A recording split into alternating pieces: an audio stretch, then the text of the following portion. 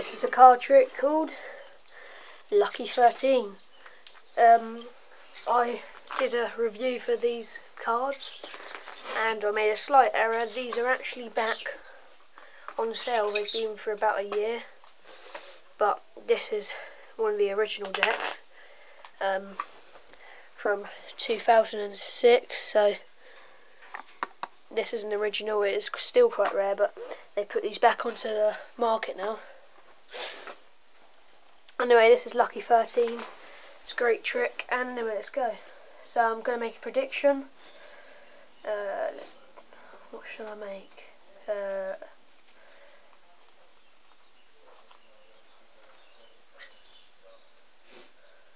there you go. I've got my prediction.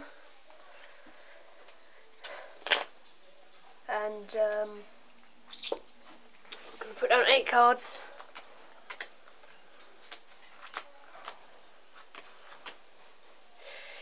That's right, that is eight cards there.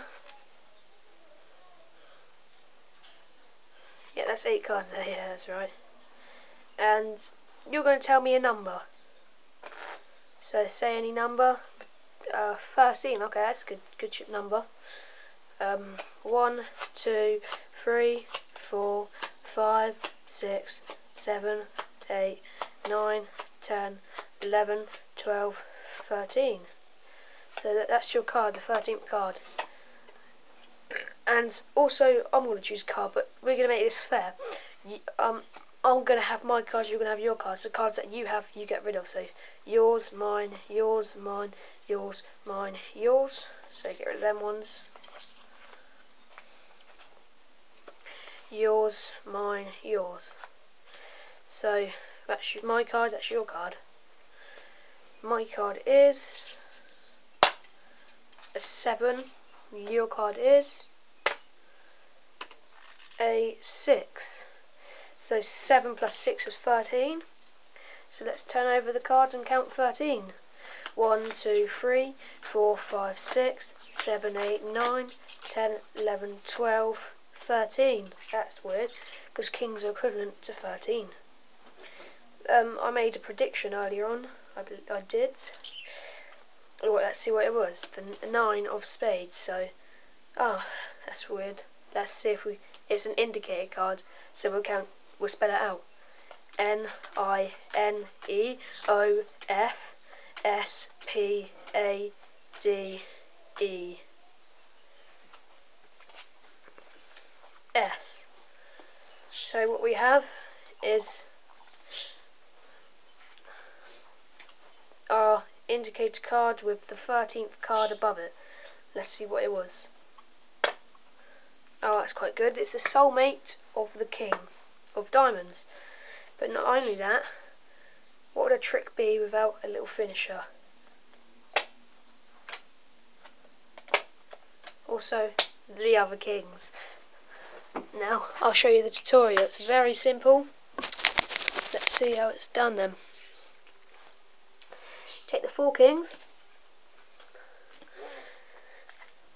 and have the nine of spades as your in your indicator card. You take eight cards, so the five and eight, ten and three, the four and nine, the seven and six. Set them out like that, so I'll show you that again. So and six, You've got to have two piles that add up to each card adds up to 13. 7 and 6 is 13. 9 and 4 is 13. 10 and 3 is 13. 8 and 5 is 13. So I'll show you that again. 5 and 8 is 13. 10 and 3 is 13. 4 and 9 is 13. 7 and 6 is 13. And you put one pile on top of the other pile. So this is how it works. The first card, add the adding to the fifth card is 13. The second card added to the sixth card is 13. The third card added to the seventh card is Phaedra. And yep, and you will leave them aside for now, but we'll need them later. Now, from the bottom of the deck, you count down 12. 1, 2, 3, 4, 5, 6, 7, 8, 9, 10, 11, 12. Then you put in one of the red kings and then put the other 12 cards on top. Next, you're just going to spell out the nine of spades on the top of the deck. So N I N E O F S P A D. Then for E, you put um, a black king. For S, you put a red king. And then the card after S, you put another black king. And put the rest of the cards back on top. And now you can bury anywhere in the deck your nine of spades, somewhere in the middle, and then put your eight cards on top. And then you're ready to go. So I'm going to make a prediction. You look for the nine of spades. Don't show them your prediction.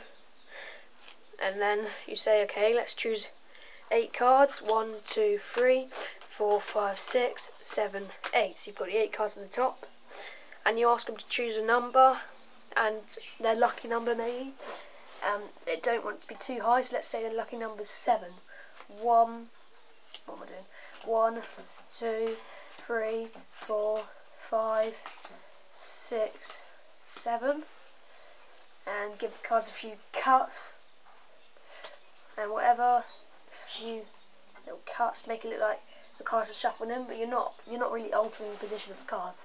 So you so uh, say your lucky number was seven. Was it? Let's count seven again. One, two, three, four, five, six, seven. Their card is the sixth.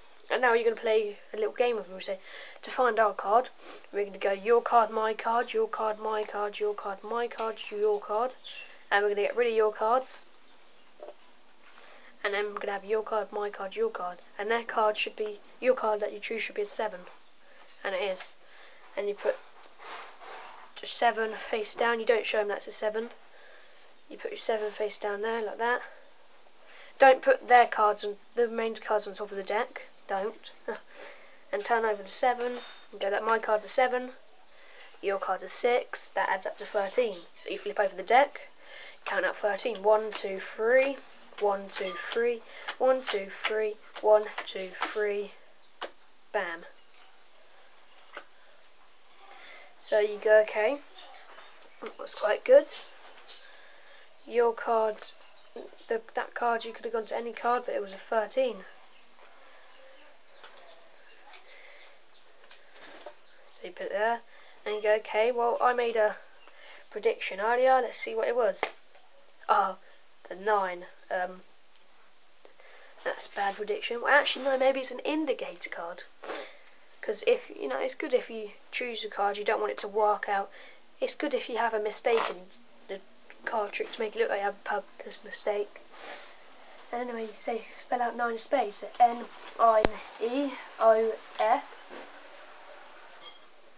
S-P-A-D-E